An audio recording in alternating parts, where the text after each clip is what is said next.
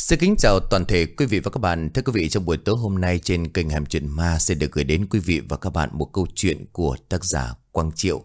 Câu chuyện Oan hồn ông ngoại. Thưa quý vị, trước đây thì tác giả Quang Triệu cũng viết rất nhiều chuyện. Và sau đó thì cũng vì nhiều lý do, ờ, tác giả cũng đã nghỉ viết trong một thời gian dài. Ờ, tác giả cũng có ờ, một vài cái điều chia sẻ như là vì có thể bí ý tưởng còn lại có những cái công việc à, Vì do công việc, vì do gia đình, con cái. Thành thử cũng là lý do khiến cho tác giả ngừng viết chuyện trong suốt thời gian vừa qua. Và trong buổi tối ngày hôm nay Câu chuyện oan hồn của ông ngoại Là một câu chuyện mà tác giả kể về gia đình của ông ngoại của mình. Có những cái câu chuyện rất là ly kỳ, rất khó giải thích Và diễn tả bằng lời. Và bây giờ thì chúng tôi xin được mời quý vị và các bạn Đến với nội dung câu chuyện Oan hồn ông ngoại của tác giả Quang Triệu qua phần diễn đọc của Địch Soạn.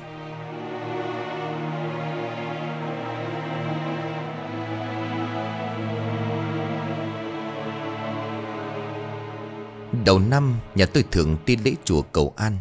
Thế thật quan điểm của tôi dạo trước nó hơi thực tế. Ta là đi chùa thật, Nhưng chưa bao giờ trong đầu của mình có suy nghĩ Là mong được thần Phật phù hộ độ trì ban phước, Hay là cầu tài cầu lộc. Bởi chẳng vớ ra tôi là kẻ vô thần. Chẳng có thần Phật nào phù hộ độ trì cho mấy kẻ tham ăn lười lao động cả. Muốn giàu thì phải chịu khó làm ăn, Muốn mạnh khỏe phải tập thể dục. Hay có những ông bà làm rất nhiều việc bạc ác, Đừng có nghĩ là đi chùa hóa giải, Không có. Đi chùa là để an nhiên, Thăm chùa buông bỏ muộn phiền, vậy thôi. Ấy vậy mà tôi từng chứng kiến một bà tầm trên dưới 50 Cả bà ấy ở một ngôi chùa có tiếng ở Quảng Ninh. Bà ấy tay cứ cầm tờ tiền xoa xoa vào bức tượng, Sau đó thì miệng luôn lầm bầm. Thương ngài, Xin ngài dù lòng thương hại, Con năm vừa rồi vỡ nợ, Chỉ xin các ngài chút à, lợi lộc rơi vãi mà thôi. Nhiều thì con không dám cầu, Con chỉ mong năm nay làm ăn chót lọt được 3 tỷ. Con chẳng hết nợ nần, Còn cái thằng mà nó hại con dân đông nỗi này, Con mong cho nó làm ăn lụi bại điêu đứng Tan ra bại sản không ngóc đầu lên được. Con mới thỏa cái cơn giận này sau ấy thì bà ta thành tâm lắm, Phù phục xuống tạ lễ. Tôi chẳng biết phải nói gì cả, Chỉ biết cười thầm len đén bỏ đi chỗ khác. Trong đầu không khỏi có một chút ác niệm nghĩ thầm. Bà đi cầu chùa khấn cho gia đình của bà Đã đành, không ai trách. Nhưng còn kiểu chủ ẻo gia đình của người ta như vậy thật đáng sợ. Chẳng khác gì như là miệng nam mô, Bụng một bồ rau găm. Thế thì thần Phật nào độ cho nổi? Mà tôi cũng xin khẳng định một câu xanh dờn quan điểm của tôi khi ấy. Vẫn chỉ là tin chứ không tín. Bởi thầy cũng có giam bảy loại thầy. Ngày mấy thầy thuyết pháp giảng đạo, Không có chuẩn, Không khéo lại ố rồi ôi chứ chả đùa. Thế nên tôi vẫn thường xuyên nhắc nhở mọi người trong gia đình, Đừng nên nghe theo những lời dụ hoặc, Kiểu như cúng dường Hay là những lời thuyết pháp mang tính chất mê tín này nọ. Ví dụ như là kiếp này làm người thầy giáo, Thì kiếp à, trước đốt sách Hai kiếp này đi hát karaoke Thì khi chết đi làm ma câm. Rồi những giải thích tầm phào kiểu, Những người trồng cà phê thì nghiệp nặng lắm, Là bởi vì trồng cà phê Khiến người ta mất ngủ ảnh hưởng đến lao động sản xuất Của biết bao người. Nói ra điều này cũng chẳng phải báng bổ hay gì, Mà chỉ khẳng định một điều tin rằng Đừng Đừng quá tín Kèo là bị lợi dụng, Tiền mất mật tật mang. Hãy cứ sống tốt rồi số phận khắc ăn bài Vốn dĩ cuộc đời này công bằng lắm, Chỉ là chưa tới lúc mà thôi. Đời này có vay, có trả, Đừng có hơi một chút nói nghiệp này nghiệp nọ, Xong kiếp này kiếp nọ. Theo suy nghĩ của tôi, Có thể do họ không giải thích được vì sao Nó lại như vậy. Cho nên cứ lấy đại một cái lý do hết sức mơ hồ hão huyền, Không có thật, Và chẳng ai biết để hợp lý hóa Cho những sự việc Và có mục đích khác mà thôi. Chồng nghĩ nếu ông thầy rằng đạo kia mà chứng kiến được câu chuyện xảy ra trong gia đình công ngoại tôi, Thì sẽ giải thích thế nào? Nghiệp hay trùng tăng hay là âm binh ma quỷ, Hay lại đổ tại cho vài chục kiếp trước, Gia đình có người nào đó làm điều bạc ác Nên gặp quả báo. Mọi chuyện khi xảy ra rồi Thì con người ta sẽ tưởng ra lý do nào đó thuyết phục, Nhằm mục đích hợp lý hóa, Theo chiều hướng mà người ta muốn nghĩ đến mà thôi. Câu chuyện này xảy ra quả thực Nếu mà kể ra cũng chẳng hay ho gì vẫn có câu đẹp thì phô ra Xấu xa thì đệ lại. Nhất là câu chuyện lại xảy ra trong chính gia đình của mình. Ban đầu tôi không có ý định viết chuyện này, Nhưng cuối cùng vẫn chấp bút.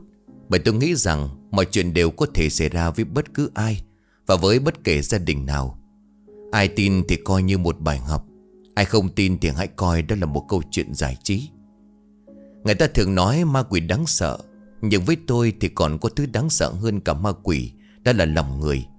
Ma quỷ theo dân gian thì có thể trừ được Hay phòng tránh được Bằng nhiều cách như là phép hay là thầy bà. Còn con người khi đã có dã tâm Thì có lòng mà phòng tránh. Giò sông, giò biển dễ dò, Mấy ai lấy thước mà đo lòng người. Năm nào cũng vậy, Đầu tháng riêng hàng năm, Bình thường gia đình bên nhà ngoại tôi Đều tổ chức đi lễ chùa đầu năm. Vừa vào khoảng mùng 10 âm lịch, Thì bà ngoại hô hào con cháu trong nhà tập hợp để lên danh sách đi du xuân. Cũng là nhân ngày rỗ của ông ngoại, Nên các con, các cháu, anh em trong gia đình, Ai cũng đều cố gắng sắp xếp thời gian tụ họp. Bởi vì công việc của mỗi người mỗi khác. Thế vào đó, sau ngày này Đã đa số mọi người trong nhà Sẽ tàn mát đi học, đi làm Sau những ngày nghỉ hết. Nhưng năm nay đặc biệt hơn cả, Có lẽ cũng là điểm gờ Khi mà bà ngoại liên tục thúc giục con cháu Bằng mọi giá về có mặt đông đủ Bình thường mọi năm vắng mặt cũng không sao, Vì ai mà chẳng đôi khi dính công việc đột xuất. Có điều năm nay lạ lắm, Bà bảo năm nay bà sẽ mừng tuổi cho con cháu, Rồi tiết lộ một bí mật động trời, Liên quan đến cái chết của ông ngoại Và mấy người con của bà mấy chục năm về trước. Điều này gây nên một sự hoài nghi lớn và vô cùng khó hiểu, Bởi mọi chuyện đã qua rất lâu. Tại sao bây giờ bà mới nói? Ông ngoại tôi mất đã ngoài 20 năm. Cũng chưa năm nào các con cháu về đông đủ như năm nay. Ông bà sinh được 7 người con 6 người con gái đầu. Phải đến khi gần 50 mới sinh ra cậu thất. Điều thú vị là ngày cậu thất ra đời, thì cô con gái lớn của bà cũng sinh ra một người con trai. Hai cậu cháu sinh cùng ngày cùng tháng cho nên thân thiết lắm. Đúng kiểu ngày xưa em bú chị, cháu bú bà. Chuyện cũng chẳng có gì đáng nói, Nếu như năm nay không có một sự việc kinh hoàng xảy tới. Trần tướng của mọi việc của hơn 20 năm trước được phơi bày một cách hết sức tình cờ. Và chẳng ai có thể ngờ được mọi chuyện lại khủng khiếp đến vậy. Người mà trong mắt của chúng tôi vẫn coi là người tốt, Chẳng ai có thể ngờ được Người tốt đó lại có thể ra tay một cách bài bản, chuyên nghiệp, Hại chết từng người từng người một, Mà không một chút do dự. Vẫn bình thản và máu lạnh đến mức thượng thừa, Cũng chẳng biết phải miêu tả như thế nào. Chỉ biết một điều rằng sự thật nào rồi cũng bị vạch trần, Tội ác nào cũng sẽ bị phơi bày ra mà thôi. Nói ra để các bạn sẽ không tin, Nhưng trên đời này, Chuyện quỷ quái gì cũng có thể xảy ra. Có thể là mọi người chưa từng gặp cho nên chưa tin, Chứ không phải là không có. Cho đến tận bây giờ khi ngồi gõ những dòng chữ đầu tiên về câu chuyện này, Bản thân tôi vẫn chưa hết sốc. Những ám ảnh kinh hoàng về những trải nghiệm hết sức tồi tệ mà mọi người trong gia đình gặp phải. Người ta đồn đoán các kiểu, Gây nên sự hoang mang và lo sợ. Và những ám ảnh trong tâm trí của mọi người Có lẽ chẳng bao giờ có thể xóa mờ. Năm nào cũng vậy, cứ qua ngày mùng của tháng đầu tiên trong năm, Bà ngoại tổ chức làm đám rỗ trong ngoại thật lớn. Bà tập trung tất cả con cháu trong gia đình lại, Rồi cơm nước cúng như một cách tưởng niệm người chồng quá cố. Năm nay lịch trình có chút thay đổi Mọi người muốn đến đến tận nơi ông ăn nghỉ Để sinh thỉnh hương hồn của ông về thăm nhà. Đây là một ngôi chùa khá lớn trên mạn Bắc Ninh. Ngôi chùa này nổi tiếng linh thiêng. Vì con cháu trong nhà rất đông, Ai cũng muốn đi mà chiếc xe bảy chỗ không chở hết. Cuối cùng thì cũng chỉ có vài người đi được lên đó. Lúc đi thì mọi chuyện khá suôn sẻ, Chỉ có lúc trở về là có điểm không may. Mà cũng chẳng biết giải thích như thế nào. Thế vài người trên chuyến xe ấy kể lại rằng, Khi đón được di ảnh của ông ngoại lên xe mang về, Tài xế cảm giác vô cùng lạ. Chiếc Innova 7 chỗ mới mua Không tài nào nổ máy được. Gọi cứu hộ đến nơi thì chiếc xe lại nổ máy bình thường. Rồi khi trở về, xui rủi thế nào gặp tai nạn, Kẹp chết một con chó đen, Phải đền bù cho nhà người ta. Chuyện xui rủi còn chưa kết thúc, Khi gần về đến nhà, chiếc xe lại còn nổ lốp Khiến cho tất cả mọi người trên chuyến xe hôm đó Bị một phen hoảng sợ. Đúng là một chuyến đi bất ổn. Sở dĩ phải lên ngôi chùa này Là bởi vì ở đây đang nhốt vong ông ngoại tôi. Vì ngày xưa nhà ngoại tôi có xảy ra một vụ trùng tăng đau lòng. Vụ việc ấy xảy ra rất lâu Nên tôi không muốn nhắc lại. Nhưng vì nó có liên quan mật thiết đến câu chuyện này, Cho nên tôi vẫn kể. Việc này trực tiếp liên quan đến ông ngoại tôi. Nó kinh khủng tới mức dân làng tôi có một số gia đình ở gần nhà ông bà. Vì sợ quá mà bỏ đi biệt xứ. Họ chẳng dám mở cạnh một gia đình liên tục có người chết. Không lời giải thích, Không rõ lý do. Mà người ta còn đồn thổi mình thấy hồn ma của ông ngoại. Cứ lờn vườn ở đầu ngõ. Bị kéo lê rồi tra tấn dã man. Sau đó thì chỉ vào nhà. Mà Loan đi xem bói thì còn bảo gia đình này Còn thêm nhiều người chết nữa. Khiến cho cả gia đình ai nấy đều hoang mang tột độ. Đã đấy nhà ông bà ngoại liền xiềng lắm. Người chết liên tục Tăng chồng tăng Cuối cùng bà ngoại tôi được người ta mách nước lên ngôi chùa Nhà được một vị sư già về làm lễ giải trùng. Lập đàn ba ngày ba đêm ngoài nghĩa địa. Sau đó thì rước vong linh ông ngoại về ngôi chùa đó cho đến bây giờ. Trong số 7 người con của bà ngoại Thì cũng chết mất 4 người. Ông ngoại là người chết đầu tiên, Sau đó chỉ trong vòng có hơn 2 năm, Lần lượt ba người con gái ruột và một người con rể cũng theo ông về nơi an nghỉ cuối cùng. Thậm chí có hai người trong làng chỉ là làm thuê, Chẳng liên quan cũng bị chết oan bởi việc này. Chính vì vậy mà dân làng họ đồn thổi là gia đình này vô phước, Cả phải trùng tang mới kinh khủng. Nếu không hóa giải kịp thời, Cả đại gia đình sẽ lần lượt bị thần trùng bắt cho đến người cuối cùng. Sự việc đó xảy ra cũng đã hơn 20 năm có lẽ. Nhưng nó thực sự gây nên một nỗi ám ảnh kinh hoàng không chỉ riêng với gia đình ông ngoại mà còn là nỗi sợ hãi cho bất cứ người dân nào ở trong làng. Ba người con gái của ông ngoại đã mất Gồm bác ba, dì sáu, dì năm Là chị em ruột của mẹ tôi. Mẹ tôi là người con thứ tư trong nhà. Năm ấy bố mẹ tôi đi làm ăn xa ở miền Nam. Chúng tôi thì vẫn còn quá nhỏ để hiểu chuyện. Chỉ biết được rằng trong mấy năm đó Nhà ông ngoại khủng hoảng lắm. Thậm chí người ta sợ đến mức kinh kỵ khi nhắc đến tên nhà ông bà ngoại tôi. Có lẽ việc liên tục trong nhà của người chết đột ngột khó lý giải, Khiến cho người hàng xóm đâm sợ, Rồi đồn thổi những cái chuyện ly kỳ huyền bí, Càng làm cho sự việc trở nên nghiêm trọng. Chẳng rõ thật giả đúng sai thế nào Họ bảo là nhiều lần nhìn thấy hồn ma cống ngoại hiện về, Làng vàng đầu ngõ, Tựa như đợi chờ đưa đón ai đó. Rồi nhiều người còn thấy ông ngoại bị ai đó kéo đi tra tấn dã man. Người ta còn nói là do bị hành hạ quá đau đớn, Không chịu nổi, Nên đồng ngoại đã phải khai ra những người khác Là thân nhân của mình, Để cuối cùng là bị thần trùng tăng bắt đi. Thật ra đúng sai như thế nào tôi không rõ. Chính vì lẽ đó, gia đình trong nhà cũng khá là tín tâm, Đặc biệt là bà ngoại. Còn tôi thì thực sự là bán tín bán nghi. Vì ngày đó tôi còn nhỏ Thêm vào cũng không ở nhà vào thời điểm ấy. Không trực tiếp chứng kiến những điều xảy ra, Cho nên vẫn thường xuyên nghi ngờ. Cho rằng đó là những chuyện tầm phào hoang đường. Tất cả chỉ là sự trùng hợp ngẫu nhiên mà thôi.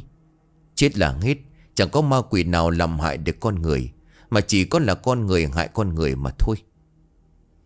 Có lẽ con người ta thường không tin vào những gì mình chưa trực tiếp trải qua Và trực tiếp trải nghiệm. Đặc biệt là một người khá cứng đầu ương ngạnh như tôi. Có điều những điều này tôi chẳng dám nói ra, Mà chỉ giữ ở trong lòng.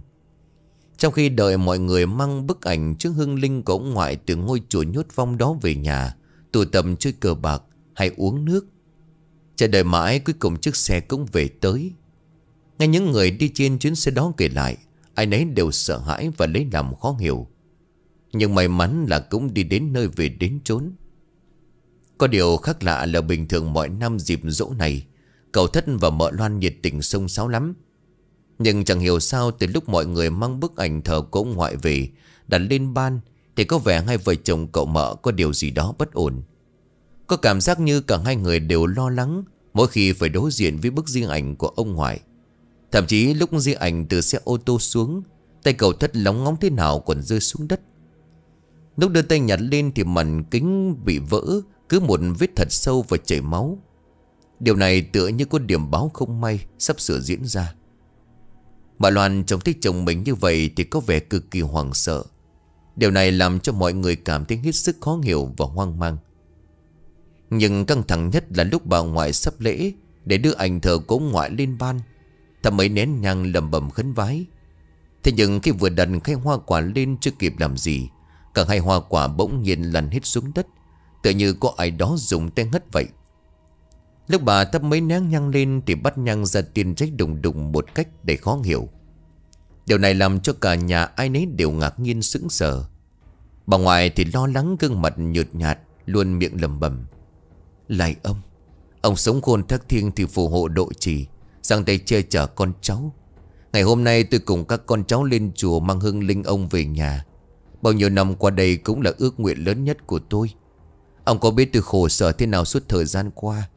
Nhà ta cũng có nhà, có cửa, Có gia đình, vợ con, Mà tôi phải mang ông lên chùa cưu mang. Như những cô hồn không nên nương tựa. Mấy chục năm qua không một ngày nào tôi không nghĩ về ông và ba đứa con. Tôi biết ông cùng với chúng chết oan mà. Cả nhà đều giật mình nhìn nhau hoảng hốt Bởi bà ngoại tôi mắc bệnh cấm khẩu suốt mấy chục năm, Không hề mở miệng. Mà bệnh của bà thì các con, các cháu đều đưa đi khám các nơi. Bác sĩ bảo là do bà bị sang chấn tâm lý, Do một cú sốc nào đó, Chứ không phải là bệnh lý. Vì không phải là bệnh lý cho nên không chữa được, Mọi thứ bà đều chỉ ra hiệu bằng cử chỉ. Thế nhưng hôm nay bà tự nhiên nói được một cách rành mạch rõ ràng như vậy, Thì quả thật đó là một điều bất ngờ. Nhưng bất ngờ hơn nữa là nội dung của mấy từ vừa rồi bà nói ra Khiến cho cả nhà đều sốc. Nghe đến đây, cả nhà ai nấy đều im lặng, phảng phất trong đôi mắt giá nua của bà ngoại hiện lên một màn sương mù. Nói rồi, bà ngoại bật khóc, Gương mặt nhăn nheo cùng mái tóc dài bạc trắng như cước vấn cao quá đầu. Giọng nói run rẩy khiến tất cả con cháu ai nấy đều cảm thấy đau lòng. Dường như những hình ảnh của quá khứ đau thương mấy chục năm trước lại hiện về. Nhiều người cũng bất giác đỏ hoe mắt, nức nở theo. Điều này khiến cho không khí trong nhà trở nên vô cùng áp lực. Có hai người duy nhất không khóc đó là vợ chồng của cậu mợ. Thỉnh thoảng hai người đưa mắt nhìn nhau, Bất ngờ cậu thất tiến lên động viên bà ngoại. Ủa nói được rồi sao? Ủa nói được khi nào? Nhưng bà ngoại không đáp, Chỉ nhìn chăm chăm vào bức di ảnh của ông, Ánh mắt mờ đục như đang hồi tưởng Việc trong quá khứ. Thôi mà U, Chuyện qua lâu rồi, Hôm nay là ngày hy nhật của bố con, Cả con cháu có mặt tề tiệu đông đủ. U khóc chúng nó cười cho đấy. Hôm nay U làm cho tụi con bất ngờ quá. Sao bao nhiêu năm chúng con lại nghe được giọng nói của U. Đoàn cầu khẽ nháy mắt ra hiệu chồng vợ, Mà Loan hiểu ý liền nói lớn với mấy đứa trẻ có mặt ở đó. Thế bây giờ cả nhà mình ra ngoài, Các cháu đi theo mợ ra ngoài dọn mâm bát chuẩn bị ăn cơm. Để bà làm lễ xin ông xong thì cho nhà mình hạ cỗ. Nào, mấy đứa ra đây giúp mợ một tay. Muộn rồi, ăn xong còn đi chơi. Chơi ở đâu hả mợ? Vài đứa trẻ có mặt ở đó thích chuẩn bị được ăn cỗ với chuẩn bị đi chơi, Thì lập tức chạy ra ngoài. Có vẻ như chúng rất hào hứng. Đứa nào cũng lộ ra một gương mặt vui vẻ. Có lẽ chúng còn quá nhỏ để hiểu được chuyện. Cũng như không thể ngờ được mợ loan lúc này Lại khôn khéo và cực kỳ quan tâm đến chúng, Lại là một người kinh khủng và ngoan độc như vậy. Để cả nhà ăn cỗ xong đã, Thế mọi người bảo tối nay ở làng bên có hội đấy, Có nhiều trò chơi lắm các cháu ăn uống nghỉ ngơi, Sau đó mở dẫn sang đó chơi nhá. Nói đoạn mở Lan còn khét cười rồi bảo, Chưa hết đâu, Ngày mai tất cả đều đi du lịch. Cậu thất của các cháu thuê xe rồi, Cả họ đi chơi một chuyến thật hoành tráng, Cậu thất bao. Nghe thấy như vậy, lũ trẻ đều vỗ tay hoan hô. Bởi lẽ xưa giờ vợ chồng cậu mở có tiếng là ki bo kẹt xỉ Chín xu đổi lấy một hào, Mà lần này tự nhiên lại hào phóng như vậy. Chắc cậu mờ phải kiếm được vụ gì hay có chuyện gì vui lắm. Chứ bình thường thì còn lâu. Nhưng người lớn trong nhà nghe vậy thì nhìn nhau Nhưng không ai nói gì cả. Vài bà chị chồng thì cũng chẳng biết vì sao bĩu môi, Ánh mắt lộ rõ vẻ không tin Trước sự hào phóng đột ngột của vợ chồng cậu mợ. Nói xong cậu ấy thì mợ Loan định dẫn bọn nhỏ ra ngoài. Thế nhưng khi vừa dứt lời thì một sự việc lạ lùng xảy đến, Khiến ai nấy đều há hốc mồm kinh ngạc. Bà ngoại lúc bấy giờ đứng ngửa mặt trên ban thờ, Hai mắt trợn ngược, chớp liên hồi. Điều bộ vô cùng lạ lùng. Cảnh tượng này diễn ra hết sức bất ngờ, Khiến cho ai nấy đều giật mình. Cương mặt già nua Nhìn chậm chậm vào đó rồi lầm bầm Lạ thật, Sao hôm nay có vẻ như không thuận lợi sao ấy? Ông chúng mày hình như không vừa ý cái gì đó. Nói xong câu này bà nhìn mọi người. Mọi người hôm nay tổ chức đám dỗ cho ông ấy thôi. Chứ để đi du xuân thì không được. Bà thường cháy đùng đùng thế này là bị ngăn cản. Cô tình vậy là mang họa. Từ lúc trên chùa về liên tục cập điểm gở như vậy là không ổn rồi. Thế về mặt khó hiểu của mọi người bàn lại tiếp. Tình hình này có khi hoãn vậy để hôm khác.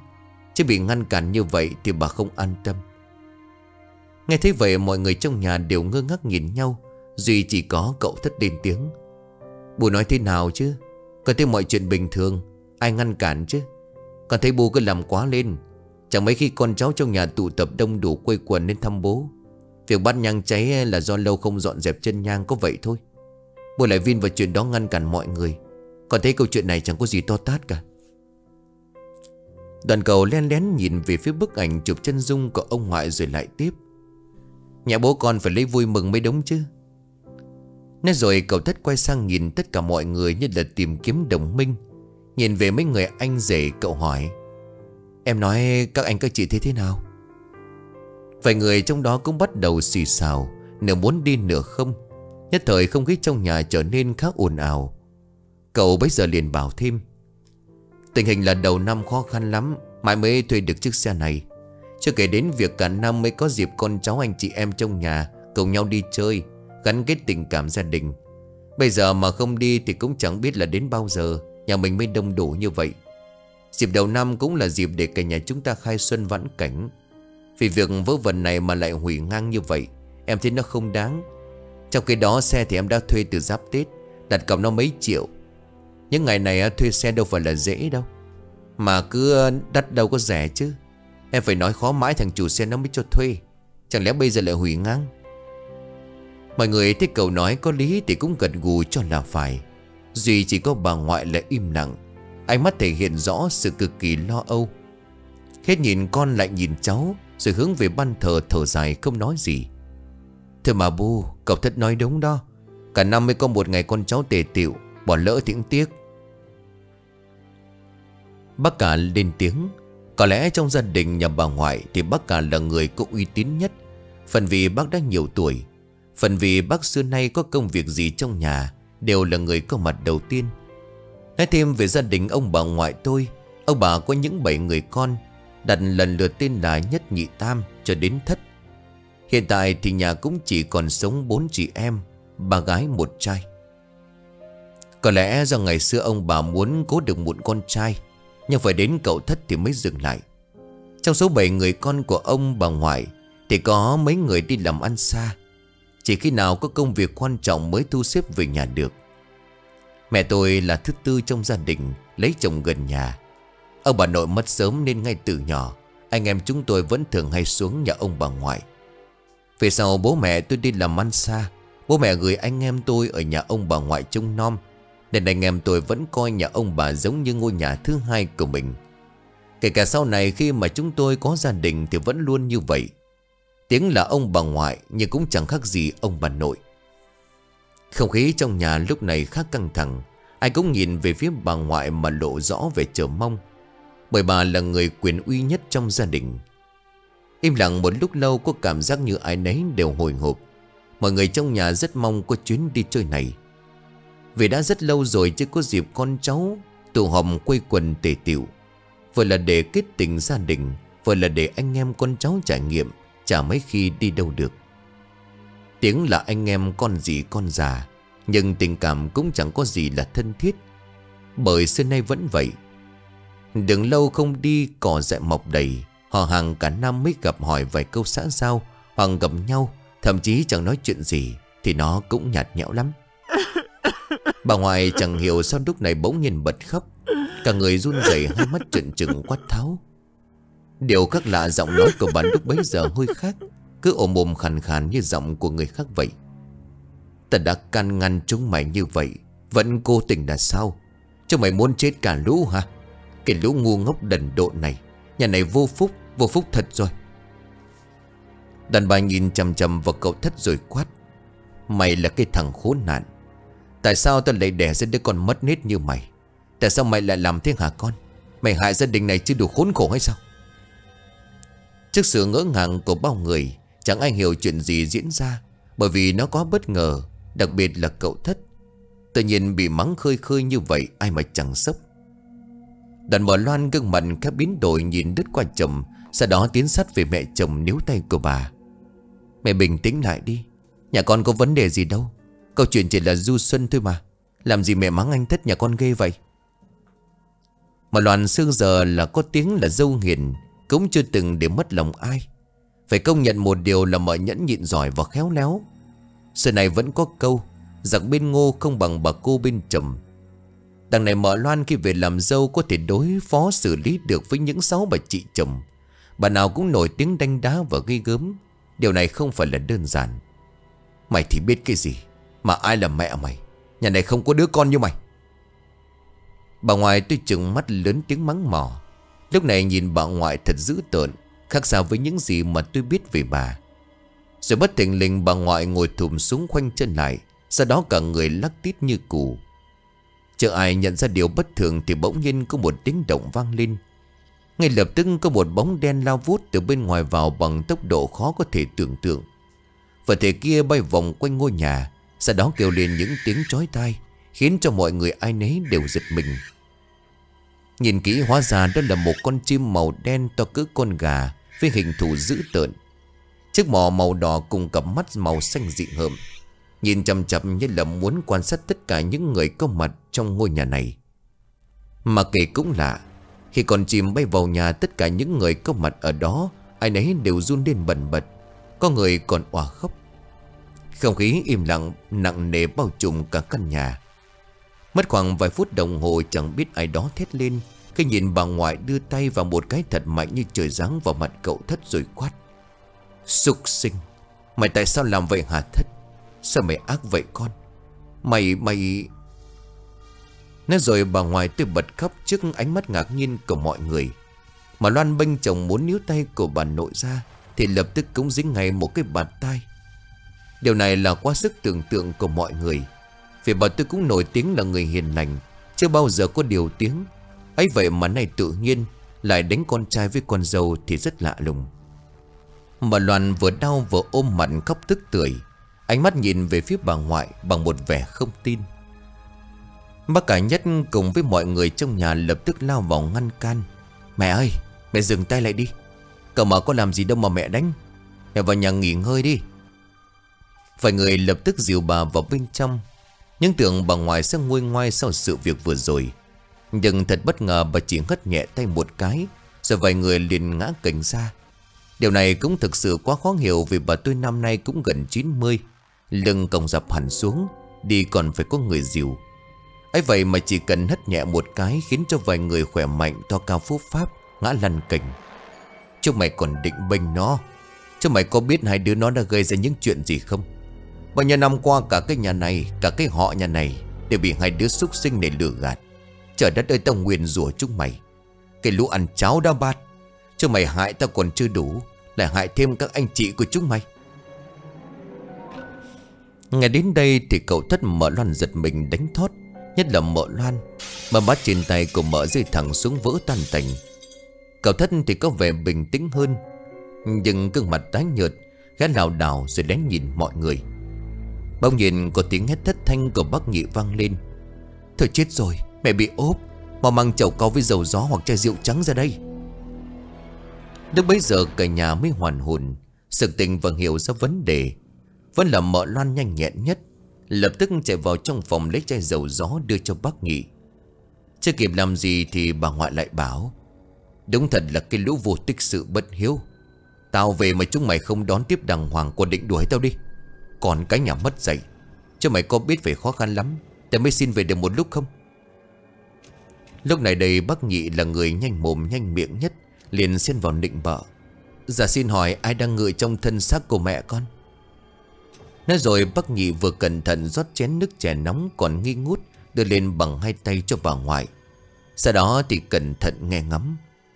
Tao mà chúng mày không nhận ra Ta là bố của chúng mày. Dạ bố con là ai?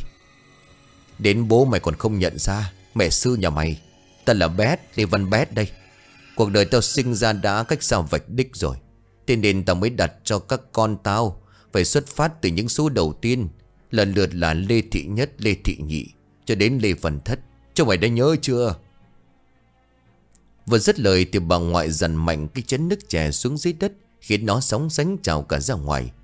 Những người có mặt ở đó ai nấy đều giật mình thon thót. Kiểu nói chuyện ra trường cùng trịch thượng cái chính xác là của ông ngoại.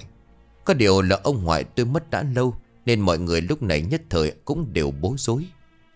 Không thể tránh khỏi được những câu hỏi có phần ngô nghi Chính vì vậy mà khiến cho bà ngoại vô cùng tức giận. Không, phải nói là vong hồn của ông ngoại nhập vào xác của bà mới đúng. Bố, là bố sao? Chả tao thì ai? Còn cái nhà, thuốc lá đâu, châm cho tao một điếu. Còn cái nhà mất dậy, lạnh quá. Ngay lập tức những người có mặt ở đó đều nhìn nhau tỏ vẻ không tin. Đúng lúc này thì một tiếng kêu lạnh lót vang lên, Khiến cho ai nấy đều giật mình. Thì ra do mày chú ý tới bà ngoại, Mà không ai để ý đến con chim kỳ lạ đang đậu ngay chính giữa bàn thờ. Cảnh tượng hết sức kỳ quái. Nhất là về hình thù con chim nó vô cùng lạ lùng, Xít lên từng chẳng chói tai. Điều hiện của con chim càng lúc càng trở nên khó hiểu.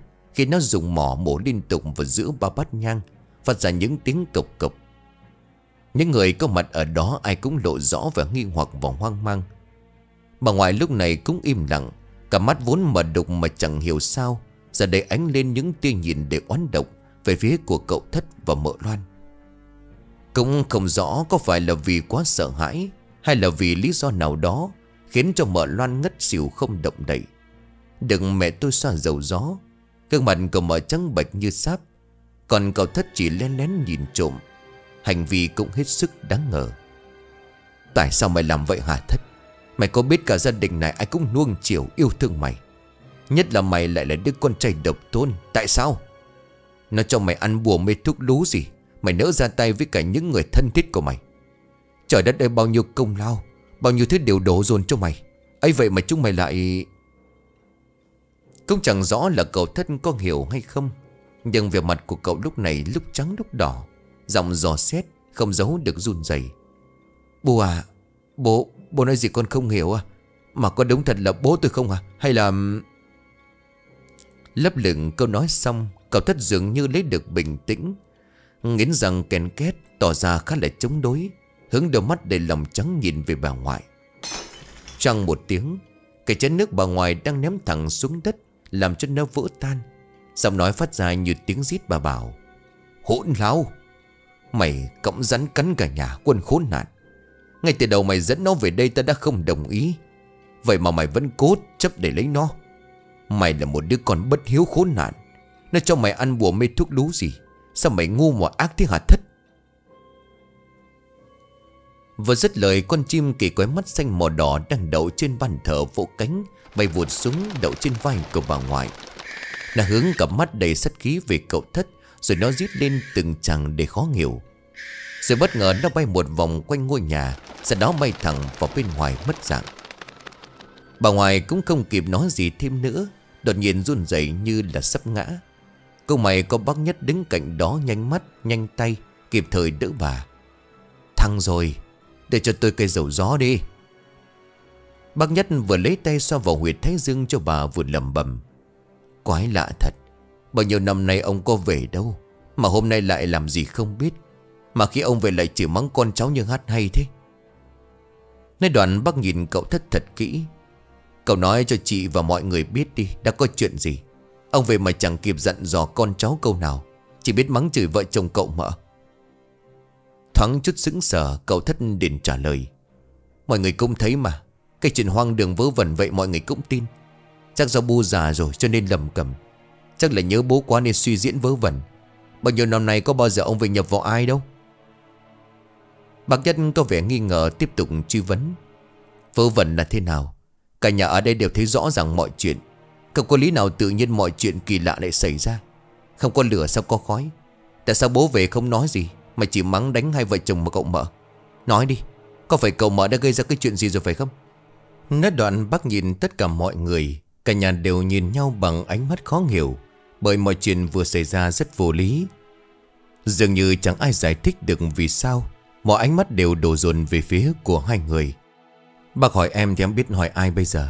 Cái thời buổi nào rồi còn tin vào dăm ba câu chuyện hoang đường vớ vẩn như vậy chứ? Thế những sự việc rõ ràng ban nãy, Mà cậu không tin sao? Này là bát nhang cháy đùng đùng, Này là con chim kỳ lạ từ đâu bay đến đâu vào bàn thờ. Chẳng phải ông về thì còn ai? Rồi tôi để ý vợ chồng cậu. Từ lúc đưa di ảnh của ông về nhà, Thái độ của vợ chồng cậu khác lạ lắm. Bác cả cầy gắt nói, Làm cho không khí trong nhà trở nên cực kỳ căng thẳng. Cậu nhất cũng đâm ra phát cổng lên như muốn thị uy. Chỉ nói chuyện buồn cười bỏ sư đó, bà năm nay không có vấn đề gì. Ấy vậy mà chỉ vì câu chuyện hoang đường vớ vẩn, Cái chị không lên với em. Bây giờ nói đi, Cái chị muốn gì? Đây là nhà em Em làm cái gì chả được. Đừng quay can thiệp quá sâu vào nhà tôi. Công các bà đều có xuất có phần cả rồi. Ai cũng có cháu nội, cháu ngoại hết Để có lên giọng. Mà kiếp thằng này xưa giờ chưa biết sợ là cái gì đâu. Đừng có mà nhiều chuyện. Cơm ai người đó ăn, Áo ai người đó mặc. Đoàn cầu thất gắn lên nhìn mấy bà chị gái rồi nói tiếp. Tất cả các bà, Đừng tưởng tôi không biết gì. Ba năm qua chèn ép vợ tôi. Tôi không nói gì đừng tưởng có thằng này hiền. Nếu mà thích thì cắt họ. Nghe cậu nói như vậy, Mấy người chị gái của cậu bắt đầu nổi khùng. Mỗi người nói một câu, Làm không khí trong nhà trở nên cực kỳ căng thẳng, áp lực. Cậu thất cái liếc mắt nhìn về mợ loan. Trường hợp lúc này cũng vừa tỉnh lại, Mà cũng chẳng biết bàn nãy mợ ngất thật hay là diễn nữa. Có điều lúc này đây không khí trong nhà vô cùng áp lực. Vài người lên tiếng khuyên can bác cả với cậu thất, Sợ rằng ảnh hưởng đến hòa khí. Đâu lúc này thì có một giọng nói quen thuộc cất lên. Có chuyện gì vậy? Tại sao tôi lại nằm ở đây? Ở Mỹ thế này, Chứ mày không coi ai ra gì nữa hả? Một giọng nói cất lên, Tỏ ra ngạc nhiên không kém, Đó là của bà ngoại. Có vẻ như bà đã tỉnh lại, Nhưng hoàn toàn chẳng nhớ gì về những việc vừa xảy ra. Nhưng để ý gương mặt của bà Có điều hơi khác lạ so với mọi ngày. Thật xác chẳng biết là có phải vì chuyện pan đánh hay không Mà tiểu tụy đi thấy rõ. Nhợt nhạt và không có sức sống Như người ốm dậy lâu năm. Bà không nhớ gì sao? Là bố con vừa nhập vào bu đấy. Tiếng của mẹ tôi lúc bấy giờ vang lên, Xong mẹ bắt đầu kể lại đầu đuôi câu chuyện cho bà ngoại nghe. Tranh ngược với dự đoán của mọi người, Bà ngoại cực kỳ bình tĩnh và tỏ ra bình thản một cách lạ lùng. Dường như bà cũng không hề quan tâm đến chuyện vừa rồi. Bà chỉ nhìn lên bức ảnh thờ của ông ngoại khét thở dài, sau đó thì lầm bầm Cuối cùng thì ngày đó đã tới. Cây kim trong bọc cuối cùng cũng lòi ra. Chả ai nắm được bàn tay cả ngày. Đoàn bà nhìn thật sâu vào mắt của cậu thất và mợ loan, Sau đó đi thẳng vào trong buồng. Bỏ lại phía sau lưng những ánh mắt đầy khó hiểu của đám con cháu trong nhà. Ai cũng nhìn nhau rồi lộ rõ vẻ hoang mang, khó hiểu. Mọi người đều có thể cảm nhận được sự áp lực trong chính lời nói của bà. Ở bên ngoài còn khá đông người. Dường như chẳng ai tin nổi chuyện lạ lùng kỳ quái vừa xảy ra trước mắt. Từng đầu những chuyện vong nhập hay lên đồng chỉ là những câu chuyện có trong phim. Ai giờ điều này hôm nay mọi người được tận mắt nhìn thấy. Khi mà bán đi rồi, Mọi người bắt đầu dồn sự chú ý vào cậu thất. Xong cậu cũng chẳng ý muốn trả lời, Nên không ai dám hỏi nữa. Phần vì cậu thất trong nhà này rất có tiếng nói, Vì là con trai độc đinh những chị gái của cậu ai nấy đều xuất có phần hết cả, Cho nên cũng chẳng ai có ý kiến. Mấy người anh rể của cậu thì lại càng không.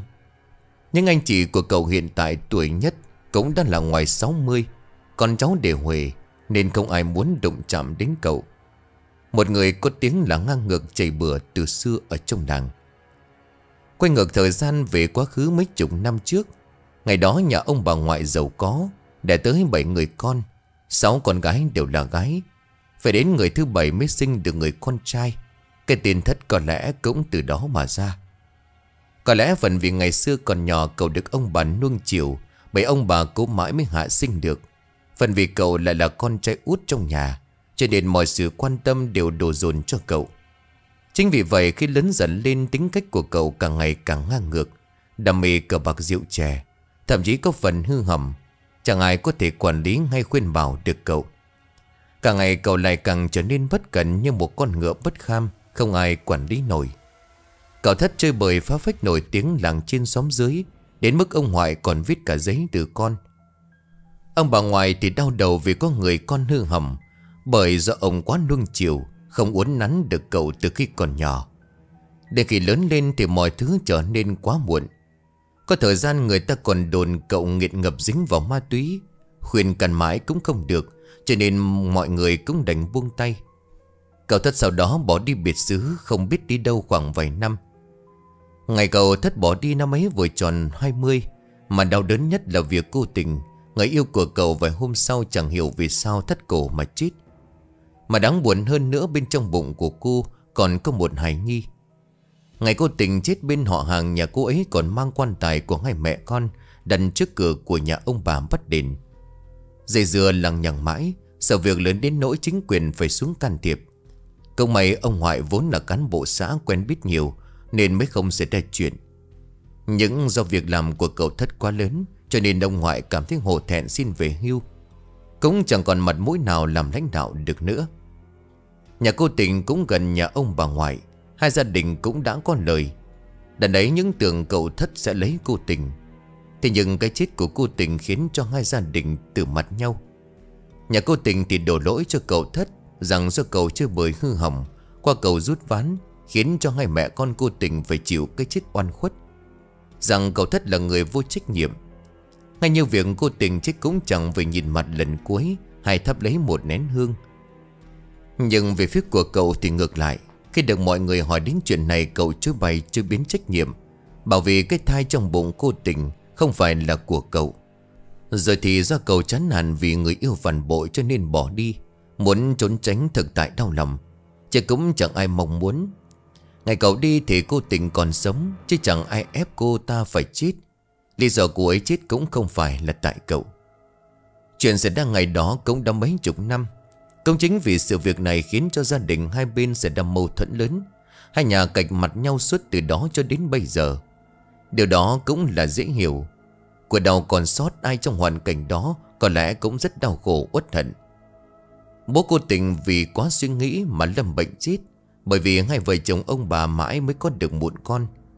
Khoảng một năm sau thì mẹ của cô tình cũng hóa điên, Suốt ngày lang thang ở ngoài Nghĩa Trang, Nơi có chồng và con gái của bà ở đó.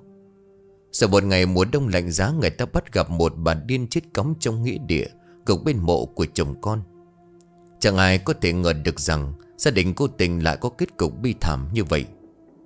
Người ta đồn rằng vào những ngày mưa phùn giá bút Họ trông thấy hai vợ chồng ông lão Cùng một cô gái trẻ bế theo một đứa bé vừa đi vừa khóc. Sự việc này khiến cho cả làng chấn động. Người ta chửi rùa cậu thất gây lắm. Nhưng cậu thất kỳ đó chẳng có ở nhà để nghe những từ khó nghe ấy, Mà chính là ông bà và những người con gái của ông bà phải hứng chịu. Thời gian chính là điều thuốc chữa lành những vết thương hữu hiệu nhất. Mọi chuyện dần đi vào dĩ vãng, Nhưng bất ngờ chỉ sau vài năm cậu thất đùng đùng xuất hiện.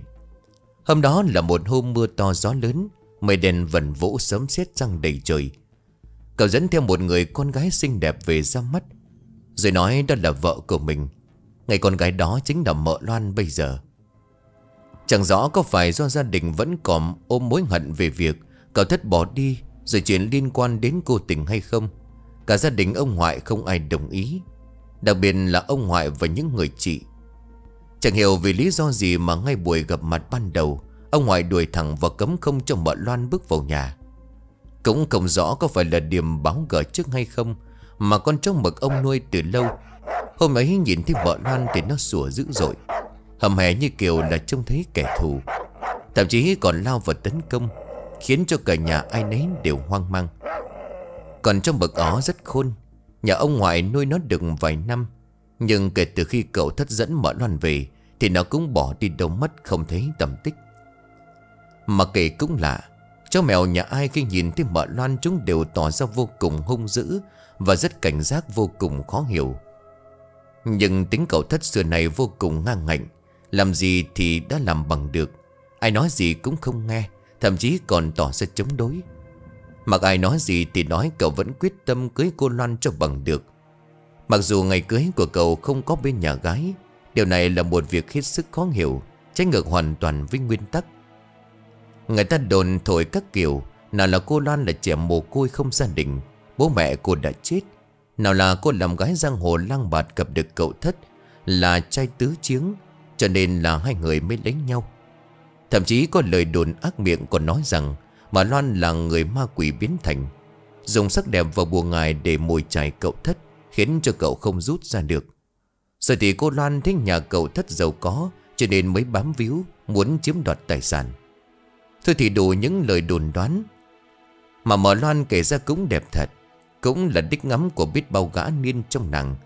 Đi đầu cũng thấy người ta bàn luận về sắc đẹp của mợ. Nếu nói đẹp nhất làng, chắc hẳn cũng nhiều người đồng ý. Cậu thất say mê mợ loan như điếu đồ, Đi đầu cũng vinh mặt tự hào. Mặc dù gia đình ông không ai đồng ý, Nhưng cậu vẫn lấy cô Loan cho bằng được. Ông ngoại vì quá đau lòng buồn Với lại hồ thẹn với tất cả, Khi có một người con trai hư hỏng, Không biết nghe lời cho nên suy sụp nặng rồi lâm bệnh. Khoảng thời gian ngắn sau đó, Vào một hôm cả nhà đi gặt lúa ngoài đầm Thì bỗng nhiên thấy mợ Loan Vừa chạy ra đồng vừa la hét toán cả lên. Trời đất ơi, Ai cứu ba tôi? Ông ấy Ông ấy. Ngay lập tức bà con dân làng nghe tiếng kêu cứu, Thì nhanh như vậy lập tức chạy về nhà ứng cứu. Có điều khi về đến nhà thì ông ngoại đã chết, Bên cạnh còn có lá thư tuyệt mệnh. Nội dung trong đó đại khái nói về sự chán nản tuyệt vọng của ông. Ốm đau bệnh tật không giúp được gì cho vợ con gia đình. Ông không muốn mình là người ăn bám làm khổ vợ khổ con, Cho nên tìm cách giải thoát. Điều này cũng khá bất hợp lý, vì của cải tài sản mà ông bà tích góp được từ ngày ông làm cán bộ còn nhiều. Chưa kể đến cái mảnh đất vô cùng rộng lớn, Kèm theo bao nhiêu của chìm của nổi. Chồng nghĩ hai ông bà chẳng phải làm gì mà cứ cắt ra mà ăn thì có đến mấy đời cũng chẳng hết. Vậy mà ông tự tử thì cũng là Cái chết của ông ngoại làm cho dân làng bàn tán xôn xao một thời gian. Nhiều người ác mồm ác miệng còn đồn thổi là quả báo. Rằng ngày xưa ông sống ác, từ thời làm cán bộ tham và sống cạn tình, Cho nên bây giờ phải chịu kết cục như vậy, Âu cũng là nhân quả. Nhưng có lẽ cậu mợ lúc này vui vẻ thoải mái nhất. Bản thân ông ngoại là người vô cùng khó tính và vốn dĩ làm cán bộ về hưu, Tính cách có phần khá quân Việt Cậu mợ ở chung với ông bà mà ông ngoại bản thân đã không ưa mợ loan, Nên không tránh khỏi những xung đột. Lại thêm mấy bà chị đều chống đối Và nổi tiếng đánh đá chuông Hoa cho nên mợ loan rất khổ. Hàng ngày phải làm lụng vất vả như con ở, Nhẫn nhịn đủ thứ, Nếu không cẩn thận lại còn bị mấy bà chị chồng hội đồng. Ngày ông mất người ta thấy mợ loan vô cùng đau khổ không lóc thảm thiết Còn hơn cho mẹ ruột của mình. Thay chồng quán xuyến mọi việc trong nhà đâu ra đấy, Dân làng nhìn vào ai cũng khen ngợi mợ loan là người hiếu thảo. Ở với cả gia đình, nhà chồng cũng gây gớm Mà mợ chẳng một lời oán than. Cậu thất số hưởng lấy được cô vợ vừa đẹp người lại vừa đẹp nết, Đúng là bông hoa nhài cắm bãi kích châu Nhưng sự đời xưa nay vẫn vậy, Không ưa thì dưa có giỏi Mà Loan càng tỏ ra ngoan hiền nhô nhược bao nhiêu thì lại càng chịu sự lấn lướt của mấy người chị chồng. Mấy bà chị gái của cậu thất thầm hè ra điều khó ưa, Luôn tìm cách gây sự và muốn tống khứ mợ Loan ra khỏi nhà. Nhiều lần còn bảo nếu mợ Loan ở đây thì sẽ không bao giờ có thể sống được yên ổn. Bà ngoại thì lại khi đó Lại về phe của mấy người con gái Nơi chung mợ loan cực kỳ khổ, Cam chịu nhẫn nhục một cách lạ thường. Cậu thất thì chẳng hiểu sao, Ngày xưa thì chơi bời nghịch ngợm là vậy Thế nhưng từ khi dẫn mợ loan về Thì trở nên thay đổi tính nết. Chẳng những tù trí làm ăn Mà còn vô cùng cưng chiều vợ. Có phần theo mọi người nói là sợ hãi thì đúng hơn. Nhưng còn nỗi những bà chị gái của cậu thì vô cùng chua ngoa và rất quái. Khi có mặt cậu thì chẳng bao giờ quát mắng em dâu. Nhưng khi không có cậu thì câu chuyện lại hoàn toàn thay đổi. Có thể vì chính lý do đó mà người chị gái của cậu trong đó có cả mẹ tôi Đâm ra ghét cay ghét đắng mợ loan. Với một người bình thường khi phải đối phó với cảnh mẹ chồng Hay là chị chồng đã khó ưa. Đằng này mợ loan lại phải đương đầu với cả sáu người bà chị chồng là đánh đá trong làng Để chắc hẳn phải chịu một áp lực cực kỳ to lớn. Cũng không hiểu bằng sức mạnh nào Mà Loan có thể vượt qua và kiên trì sống với cậu thất cho đến tận bây giờ. Có điều là hai người sống với nhau đã hơn 20 năm có lẽ. Mà vẫn không có được một muộn con nối dõi. Có lẽ vì vậy mà mợ Loan lại nhận thêm những lời cay nghiệt khác Như cây độc không trái, gái độc không con. Thôi thì đủ những lời nhận xét dị nghị bàn tán ra vào. Người ta còn đồn thổi mợ loan này là dân tộc Biết dùng bùa phép chảy cậu thất Khiến cho cậu mê mẩn.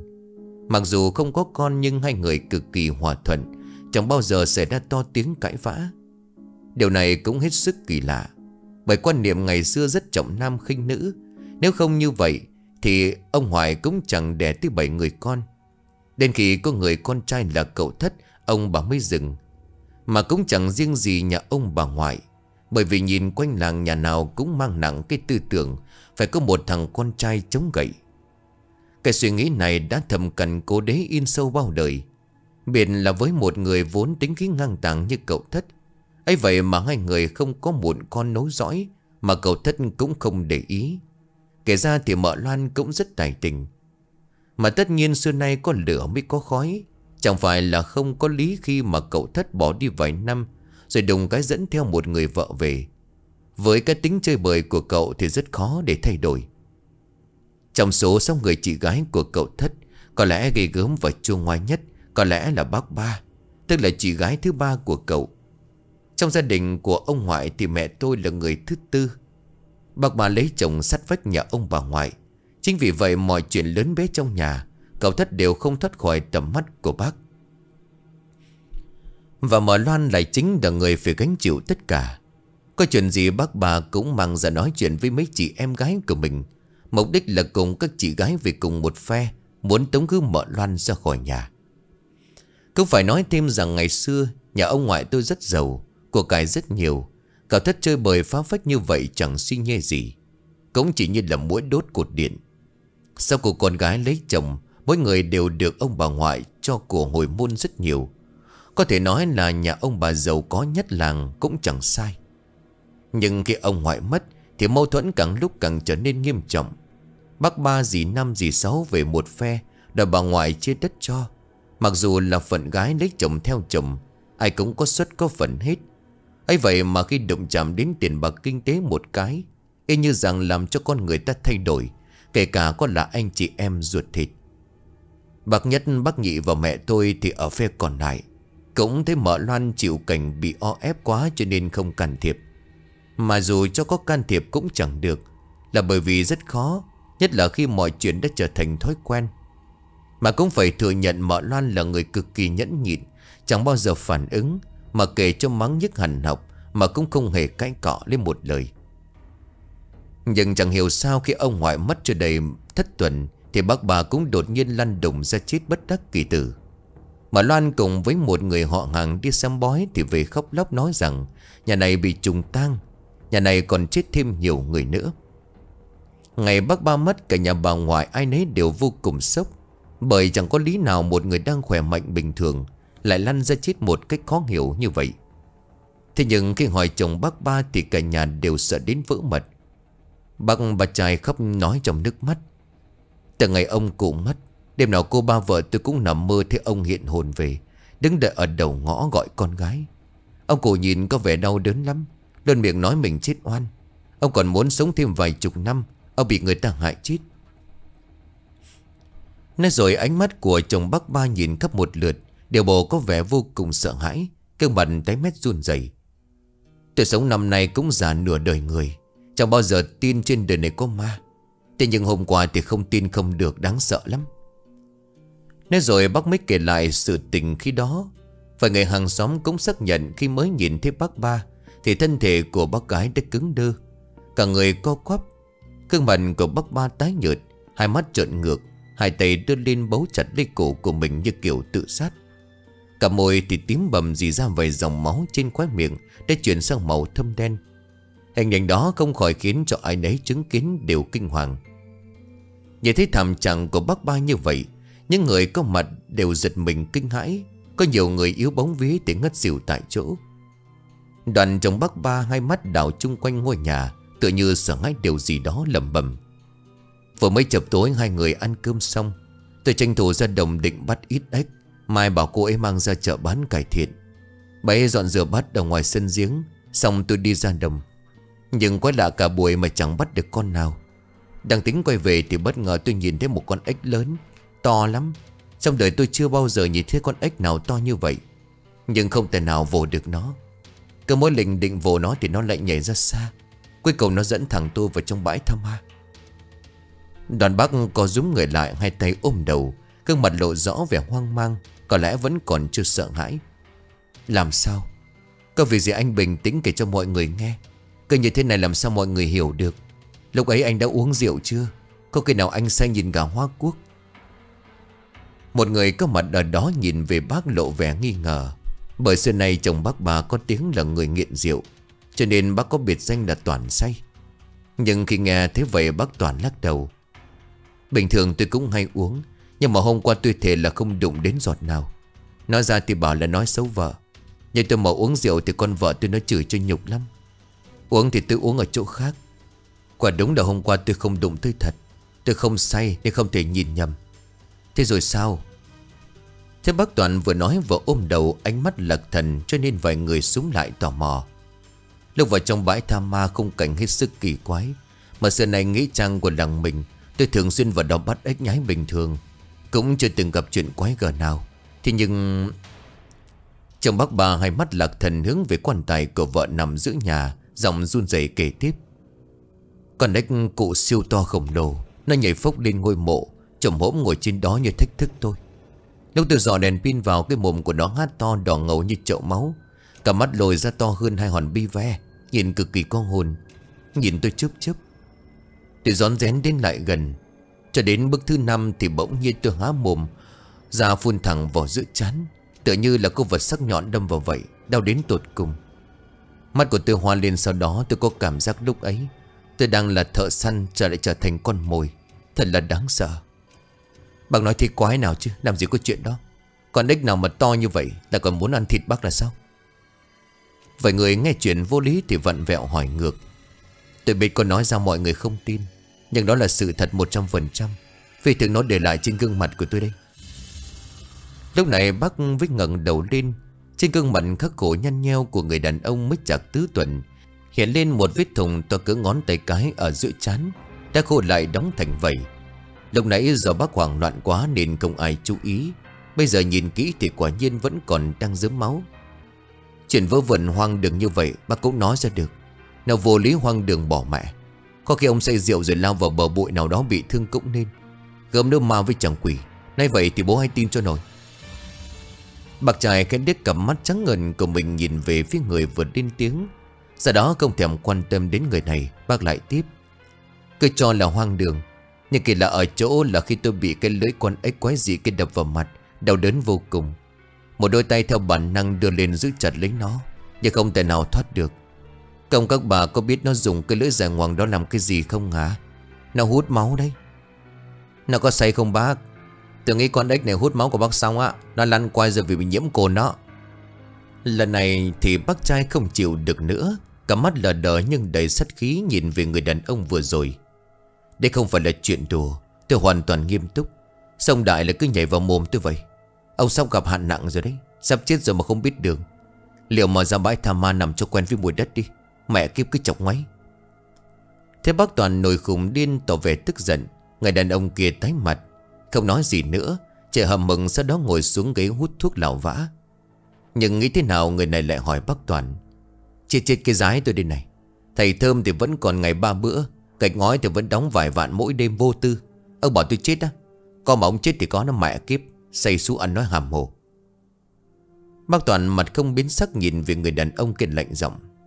Tôi nói cho ông biết, Tôi nhìn thấy ông chết ngay trên bụng vợ đấy. Tham thì thâm, đa dâm hại thận, Đừng có chủ quan. Không chết đi, vợ ông cũng sẽ lấy chồng khác. Chuyện này thật 100% Chỉ nay mai thôi lời khuyên của tôi ông cứ ra đầm Nằm riêng huyệt cho quen với mùi đất đi. Kẻo khi chết lại bỡ ngỡ. Mọi người gần đó thấy bác Toàn có vẻ ăn nói quá lời. Chẳng ai có thể khẳng định Một người đang sống sờ sờ khỏe mạnh như Vâm Lại có thể chết một cách lãng xẹt, Như kiểu tận mắt nhìn thấy. Quá là vớ vẩn. Thế nhưng bà vợ cũng đại thì ngược lại. Những lời nói của bác Toàn khiến cho bà lo. Bác Toàn Nhưng gì bác nói có phải thật không? Tại sao bác khẳng định như vậy? Bác căn cứ vào đâu? Bác Toàn lúc bấy giờ hướng cầm mắt nhìn người đàn bà trước mặt. Căn cứ vào cái này. Nói rồi bác Toàn chỉ tay vào vết sẹo trên giữa chán Ngoài trừ một vệt máu khô Thì cũng không có gì quá rõ. Cha hay hiểu ý của bác nói gì bác lại tiếp. Tôi cũng không rõ ràng vì sao lại có thể nhìn thấy. Có thể chuyện này liên quan đến việc tôi bị con ếch kia tấn công. Bác Toàn mắt hướng nhìn vào trong nhà, Nhìn chiếc quan tài của vợ mình rồi lại tiếp tục. Lúc mà chiếc lưỡi của con vật gớm ghiếc đó chạm vào chán tôi, Cả người tôi cứng đơ, toàn thân lạnh ngắt, Mồ hôi vã ra như tắm. Mắt tôi hoa lên rồi một cảm giác dùng mình tựa như là bị vào giữa hầm băng vậy. Muốn bỏ chạy nhưng hai chân không thể nhúc nhích. Lúc tôi sắp sửa ngất đi thì có một cái bóng màu trắng lao lên kéo mạnh tôi về đằng sau. Chưa kịp định thần thì cảm thấy sau lưng của mình lạnh toát. Cả người bợ nhẹ bẫng, Giống như có ai đỡ ở bên dưới vậy. Tại tôi thì nghe thấy tiếng nói quen thuộc. Đúng là của cô ba vợ tôi. Mình ơi, Em chết rồi. Hãy về nhà đi nhanh lên. Em chết thật rồi. Nhanh lên không thì không kịp. Quan sai sắp sửa lên bắt em đi. Vợ chồng mình sẽ gặp nhau sớm thôi. Sau đó tôi sợ quá chạy về. Chẳng hiểu sao mà lại thấy nhà ông đại ban nãy bắc giạp to lắm. Và còn ông ấy thì khóc lóc thảm thiết. Hỏi ra mới biết là lão ta bị thượng mã phong mà chết. Thực sự là đáng tiếc. Điều kỳ lạ là còn thấy cả vợ tôi cũng đang ở đó. Nhưng gọi mãi cô ấy không có trả lời. Khi tôi tiến lại, cô ấy cứ đi giật lùi. Trong đầu vẫn chưa hiểu chuyện gì đang xảy ra, Bởi vì nó rất là mơ hồ. Rõ ràng lúc nãy cô ấy nói mình đã chết rồi, Tại sao bây giờ lại có mặt ở đây? Nhìn quanh bóng ma của lão đại kia, Có vài người lạ hoắc dáng vẻ của họ cũng rất lạnh lùng. Cứ đứng trực chờ quanh lão, Như kiểu là muốn bắt lão đi vậy, Thật là kỳ quái. Tôi chạy một mạch về nhà gọi mãi không quan lên tiếng. Thế nhưng khi vào trong nhà châm đèn lên, Thấy cô ấy đã chết. Cả người lạnh ngắt cứng đơ, Chẳng biết nguyên nhân tại sao cả. Đâu lúc này thì mới có hai người đi xe ếch đêm là ông Định và ông Ngân, Người cùng làng với tôi. Thế tôi ngủ ngay trên ngôi mộ đến gọi tôi tỉnh dậy.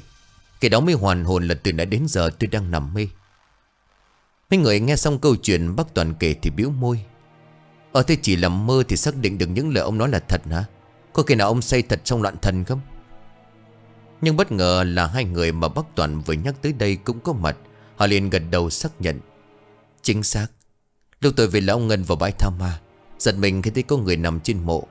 Ban đầu còn tưởng là gặp ma Lấy hết dung khí mới dám tiến lại gần Hóa ra là lão Toàn.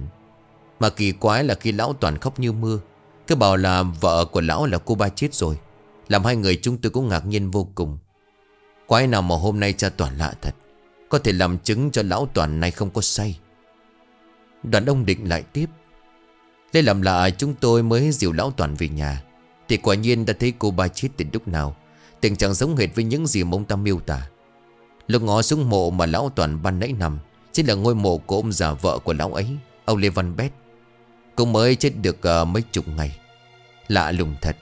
Tôi nghĩ mãi không có ra vì sao lão này Lại bị dẫn vào đó. Nếu đúng như những gì mà ông ấy kể lại Thì chính hồn ma cô ba đã cứu chồng mình một mạng. Cái nghĩa trang của làng mình xưa nay có nhiều người sống vào đó chết lắm. Năm nào chỉ có vài vụ Mà không rõ nguyên nhân. Lá toàn say này thế mà cao số may mắn thật. Nghe xong câu chuyện này, có vài người có mặt ở đó không ai bảo ai, Đều nhìn nhau tỏ ra ngạc nhiên vì nó rất kỳ lạ. Thế nhưng bác Toàn nói giọng buồn buồn rồi bảo, Tôi cũng chẳng còn sống được bao lâu, Lo mà chạy cho vợ tôi xong tôi cũng đi theo cô ấy. Từ lúc bị con ếch kia nó cắn, Tôi có thể nhìn thấy được người ta làm đám ma cho cả tôi. Nói đoạn thì bác Toàn bật khóc cằn giận mọi người. Vợ chồng tôi lấy nhau cũng được hơn chục năm, Không con cái. Vợ tôi cũng đã chết cho nên tôi có sống cũng chẳng có ý nghĩa gì cả. Đáng lẽ ra là tôi chết từ lúc ở trong bãi tha ma đêm hôm trước. Nhưng mà có lẽ vợ tôi muốn à, tôi về làm đám tang cho cô ấy trước. Cô ấy đang đứng ở đầu ngõ kia kìa. Nói rồi thì bác Toàn đi vào bên trong, Ngồi thụp xuống cánh quan tài của vợ tựa đầu vào đó Cơn mặt nặng nề, u ám. Nhưng mà lúc này lão đại hàng xóm của bác Toàn gặt phát đi rồi bảo, Nó bị điên mẹ rồi, chết đáng hết. Đừng còn nói liên thiên Mày bảo vài ngày nữa tao chết xong mày cũng chết.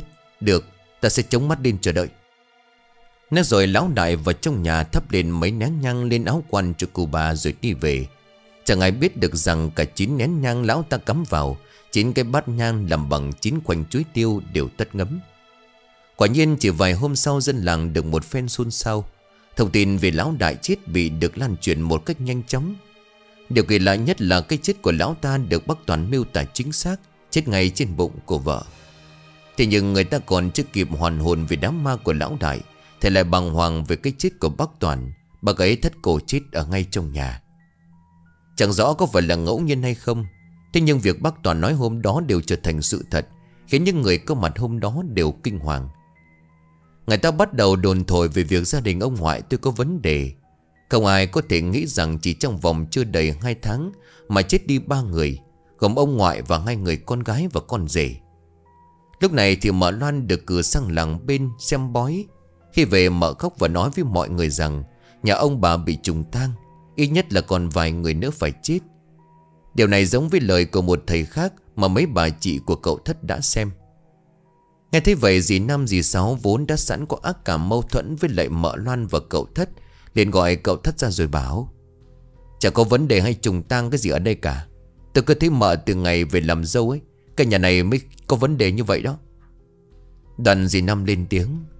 Tôi thấy mợ rất là kỳ quái, Vì mợ nên bố tôi mới suy nghĩ nhiều, Lâm bệnh nặng rồi ốm. Ông nghĩ quẩn rồi mất, Sau đó là chị ba doanh toán. Nên đoàn dì Năm nhìn cậu thất rồi bảo, Ngày xưa vì cậu mà mẹ con nhà cô tình phải tự vẫn, Bây giờ lại dẫn con nợ này về nhà. Cậu đúng là phá ra chi tử. Đừng tưởng nhà này có mỗi mình cậu. Chúng tôi là phận đàn bà, là con gái thật. Nhưng cũng chưa bao giờ để bố mẹ phải khổ. Chỉ có cậu mới làm cho cả nhà này điên đảo lên mà thôi. Nghe vậy thì cậu thất bực mình rồi quát. Sao chị buồn cười vậy? Cái việc nào ra việc nấy? Bản thân chị lấy chồng quanh ngăn cản không? Mà sao việc của em cứ xíu mũi vào? Chuyện đã qua bao năm rồi, Chị nhắc lại làm gì? Vợ cậu Vậy làm sao? Dì Năm ngập ngừng định nói gì đó Nhưng lúc này dì Sáu lại tiếp. Nếu mà không phải do cậu được bố bu nuông chiều Nên hư hỏng Thì mọi chuyện đâu đến nỗi này. Chị Năm nói đúng. Bây giờ cậu phải xem thế nào đi. Bố rồi lần lượt là hai vợ chồng chị ba. Chuyện này át hẳn có điều gì mờ ám. Chẳng có gì tự nhiên xảy ra cả. Ý của chị là sao? Cậu thất nhìn hai chị ruột điều bộ tỏ ra vô cùng khó chịu. Trong nhà này thì có sáu bà chị gái cực kỳ ghê gớm Nhưng ghê nhất là chị ba, chị năm và chị sáu. Nhưng mục đích của họ là muốn cậu săn sẻ chút tài sản mẫu ngoại để lại mà thôi. Bản thân của cậu thất thừa hiểu điều này, nhưng bọn Loan thì có lẽ đứng đằng sau chỉ đạo chồng. Cũng chính việc này mà càng ngày càng khiến cho tình cảm mấy chị em trong nhà đi xuống. Nhất là việc bác ba mất Khiến cho hai người là dì Năm và dì Sáu Trở nên trông tranh và hoang mang hơn bao giờ hết. Hai người cũng đi xem bói một thầy khác khá nổi ở làng bên. Chẳng rõ thế nào mà ông thầy bói nói trong nhà này trùng tang, Nhưng là do bị người ta hãm hại. Mà tâm lý của con người nói chung xưa nay vẫn luôn có xu hướng áp đặt suy nghĩ không tốt Về người mà mình không ưa, Kể cả nó chẳng liên quan gì đến nhau. Này nhá, tôi nhắc lại, Ngày cậu dẫn mở về đây ra mắt, Tại sao bố bu lại hết mực ngăn cản? Rồi con chó mực nhà nuôi bao năm nó lành như vậy đó, Mà nó lại sủa lên như thế? Ngày mở ấy về thì đây cũng là lúc nó bỏ đi. Rồi mợ loan đi đâu cũng bị chó mèo như người ta ghét. Cậu không tin thì đi hỏi cả cái làng này coi. Cậu thất không biết trả lời làm sao đành phản ứng. Nhưng cái chuyện này ai biết trả lời sao? Có phải các chị đang ghen tị với cô ấy? Em nói cho các chị biết, Đừng có ai làm tổn thương vợ em. Không có, đừng có trách. Và em nói hiền lành nên các chị bắt nạt. Nó làm gì nên tội để các chị ghét?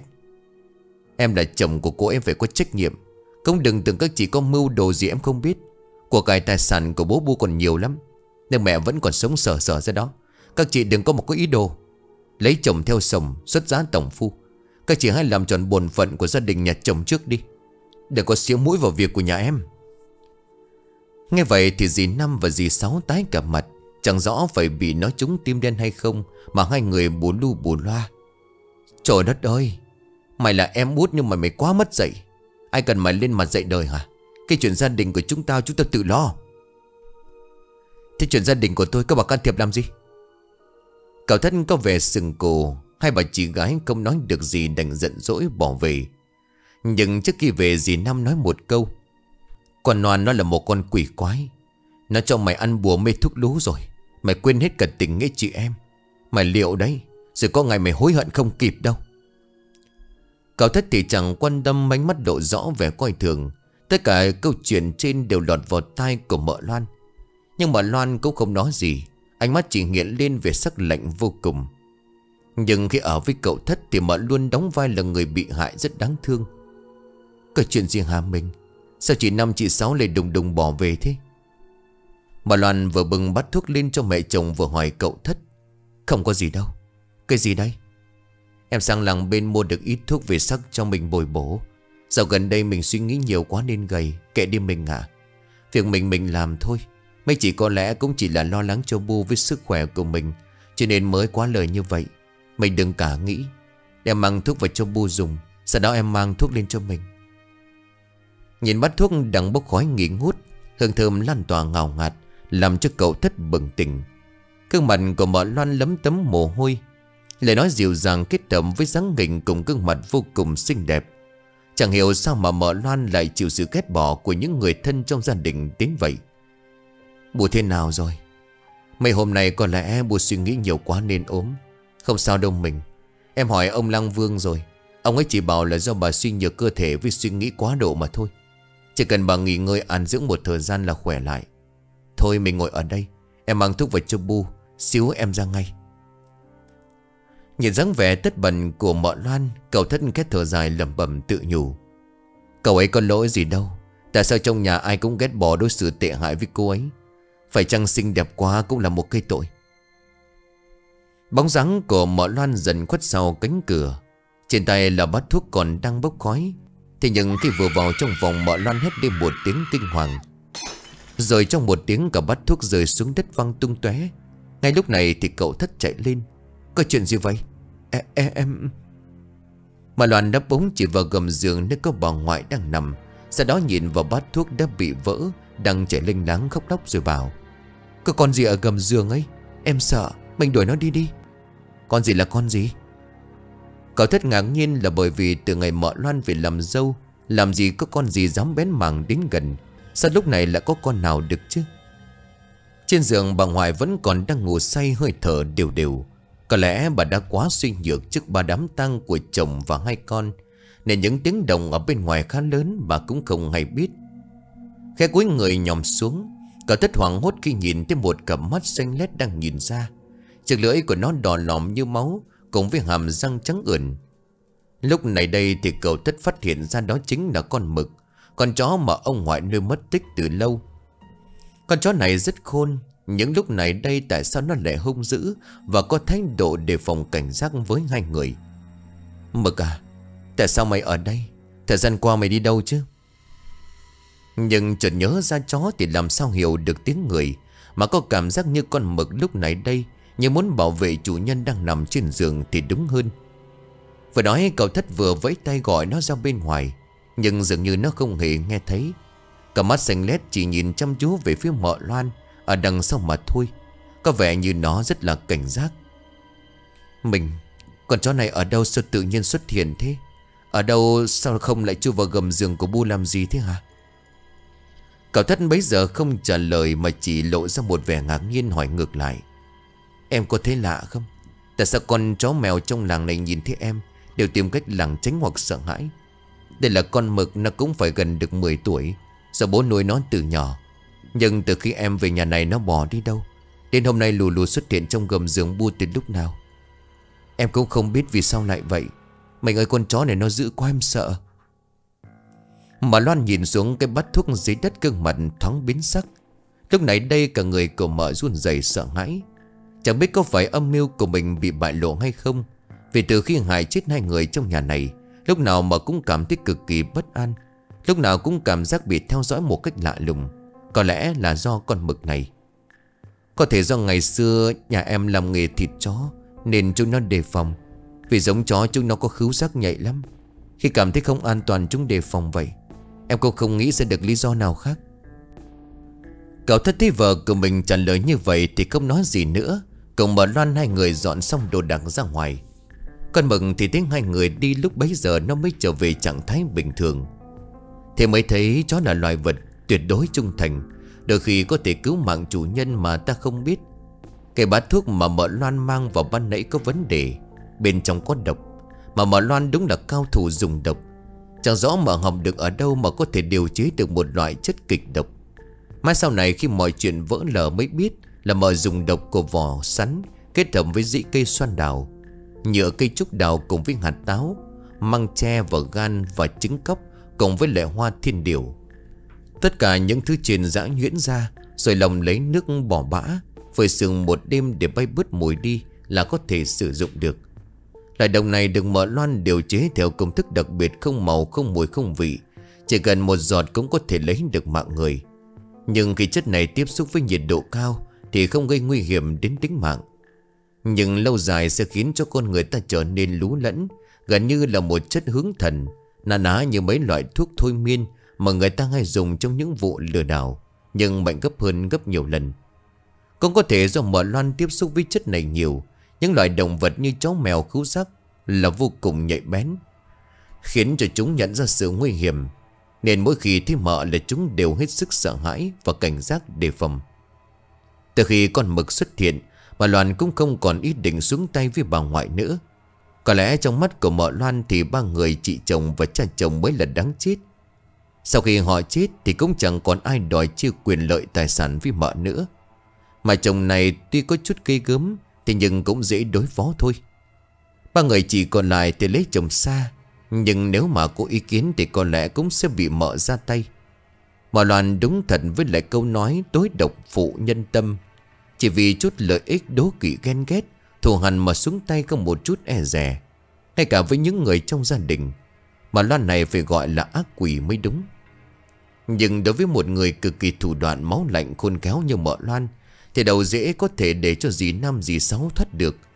Những gì mà mợ Loan nghe thấy cùng với ý đồ của hai người Là muốn chia chắc tài sản của ông ngoại để lại, Nó như giọt nước tràn ly, Làm cho dã tâm muốn loại bỏ hoàn toàn những cái gai trong mắt, Kể cả đó có là ai. Sau cái chết của vợ chồng bác ba Thái độ của mấy người trong nhà ngoại Có phần hoang mang và lo lắng. Nhưng chẳng ai có thể ngờ được rằng, Người con dâu lúc nào cũng tỏ ra ngoan hiền, Cam chịu Là chính là một kẻ sát nhân máu lạnh. Chính vì mợ Loan quá khôn khéo Cho nên phải đến mấy chục năm sau, Chẳng ai nghi ngờ và có thể phát hiện ra tội ác kinh hoàng đó. Cho mãi đến sau này tội ác đó mới được phát hiện, và chính mợ Loan thú nhận Thì tất cả mới ngã ngửa. Có điều gì năm gì sáu Thì vẫn cay cú với vợ chồng nhà cậu thất. Thì hai người cũng lấy chồng gần nhà ông bà ngoại. Thường xuyên lấy cớ sang thăm bà ngoại.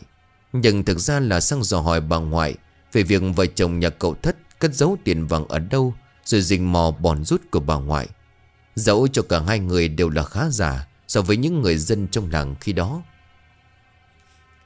Bà ngoại chẳng rõ có phải bị mợ loan đầu độc bằng thứ đập dược do mình điều chứng hay không. Mà lúc ấy rất tin tưởng và yêu quý con dâu. Vài năm sau thì đột nhiên không muốn nói chuyện với ai. Tự như người mắc bệnh câm Hai mắt cũng trở nên mờ đục một cách khó hiểu. Giao tiếp gì cũng chỉ ra hiệu bằng tay. Mặc dù hai vợ chồng cậu mờ đã lấy nhau lâu rồi mà không có con, Ngay cả cậu thất cũng chẳng hề có ý kiến gì việc này. Kể ra thì cũng lạ. Dì Năm và dì Sáu cũng có thể vì lòng tham cùng với sự cay nghiệt của mình, Cho nên cả hai người đã phải gặp họa lớn hoặc cũng có thể là do sự sắp xếp trả thù của mợ Loan. Sự việc này xảy ra vào một ngày khoảng hơn một năm sau Sau cái chết của vợ chồng bác Ba và bác Toán. Nhà cậu thất có một trang trại trồng sắn hàng năm Mỗi năm cho thu hoạch rất nhiều. Sắn thì cũng có rất nhiều loại như là sắn trắng, sắn dây, sắn đỏ, sắn cao sản. Ngày đó tuy dân làng nhiều nhà vẫn còn ăn cơm độn Nhưng riêng nhà cậu thất thì chẳng bao giờ. Quần áo ông ngoại để lại rất nhiều mà cậu thất chịu khó làm ăn, Cho nên đã giàu lại càng thêm giàu. Có điều tính tình hai vợ chồng có phần hợp nhau vô cùng đó là keo kiệt, Đặc biệt là mợ loan. Phải nói là khít khìn khịt như cậu thịt mỡ, Đúng trời sinh một cặp. Dì Năm và dì Sáu, hai người thích nhà của cậu thất đào sắn, Thì sang giúp một tay. Tiếng là làm giúp nhưng mục đích chính Là để sang nhà cậu mợ vô vết, Mang sắn về nhà của mình mà thôi. Hai người lại còn nói những cái điều khó nghe Và tỏ rõ thái độ khó chịu. Làm cho mợ Loan rất tức giận. Vốn đã không ưa nhau cho nên mợ Loan đã ra tay Bằng cách rất là tinh vi. Mợ Loan đã chọn những củ sắn to nhất, Bở nhất Lục một nồi sắn, Sau đó mang lên trang trại mời hai người chị chồng, Cùng với vài người làm công khắc ăn. Bản thân là một người sành sỏi về việc dùng độc. Loan đã ngấm ngầm bôi chất độc mà mình đã điều chế từ trước vào những củ sắn đó. Và không ai để nghi ngờ, Bà Loan cũng ăn những củ sắn đó, Nhưng với số lượng ít. Và do mợ chủ động cho nên lượng độc tố dung nạp vào cơ thể của mợ Không đủ để lấy mạng sống của mình. Và lần ngộ độc sắn tập thể đó Khiến cho dì Năm và dì Sáu Cùng với hai người làm công khắc tử vong.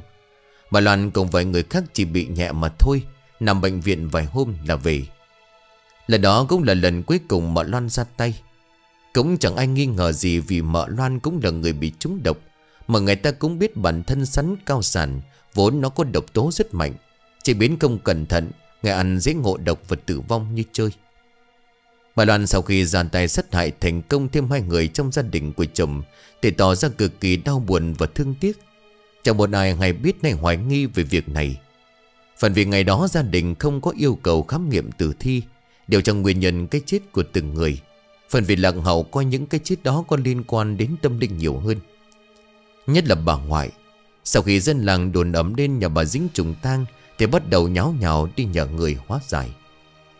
Chẳng biết có phải là trùng hợp ngẫu nhiên hay không, Mà sau khi bà mời được mấy nhà sư ở tỉnh ngoài về lập đàn tràng trùng tang Ở ngoài mộ của ông, Rồi nghe theo lời mang hương linh của ông gửi lên chùa, Thì quả nhiên từ đó gia đình yên hẳn. Sự việc đó xảy ra đã 20 năm nhưng thực sự chưa ai phát hiện. Quay trở lại thực tại, Sau cái hôm hồn ma ông ngoại nhập vào bà ngoại, Mắng chửi hai vợ chồng cậu thất, Thì bà ngoại tỏ thái độ rất khác lạ. Đêm nào bà cũng dậy thấp nhang rồi đứng trước ban thờ ông lâm dâm khấn vái. Mà kể ra cũng lạ, Từ ngày đó bà cũng khỏi hẳn căn bệnh câm, Nói nhiều và có những biểu hiện vô cùng khác lạ. Nhưng bà hay nói chuyện một mình, Rồi đi như người mộng du vào ban đêm. Căn nhà của cậu thất xưa nay không hề nuôi chó mèo. Nhưng những người hàng xóm thường xuyên nghe thấy chúng sủa vào ban đêm. Đám mèo hoang thì tụ tập trên mái nhà kêu gào, Khiến họ không thể nào ngủ được. Nhưng chẳng hiểu tại sao vợ chồng cậu thất mợ loan thì hoàng sợ lắm, Đặc biệt là mợ loan. Từ cái hôm số ông bị ông nhập vào bà đánh, Nên thái độ của hai người tỏ ra khác lạ. Người ta vẫn thường nói có tật giật mình, Mà Loan luôn tìm cách lảng tránh khi gặp bà ngoại. Bức ảnh chụp ông ngoại trên ban thờ Cũng không bao giờ dám nhìn thẳng vào đó. Không rõ có liên quan gì đến tâm linh hay không. Thế nhưng sau hôm ấy Mà Loan ốm một trận thập tử nhất sinh. Một người nhan sắc nổi tiếng là xinh đẹp. Thế nhưng chỉ sau có vài hôm trở nên tàn tạ một cách khó hiểu. Cậu thất đưa mợ đi khám nhưng không ra bệnh. Đêm nào mợ Loan cũng gặp ác mộng, Nằm mê nói nhảm nhắc về tên những người Mà mợ đã ra tay. Làm cho cậu thất nghi ngờ gặng hỏi. Đến cuối cùng thì mợ Loan thú nhận toàn bộ mọi việc với chồng. Sự việc được cậu nói lại cho cả nhà, Bằng một lá thư tuyệt mệnh kể rõ sự tình. Hai cậu mợ vô cùng ân hận Nên tự tử cùng nhau. Cạnh đó là chai thuốc độc mà mợ Loan đã điều chế từ bao giờ. Cũng chính vì chuyện này, Suốt thời gian qua tôi vắng mặt trong giới văn đàn. Cảm ơn quý vị rất nhiều.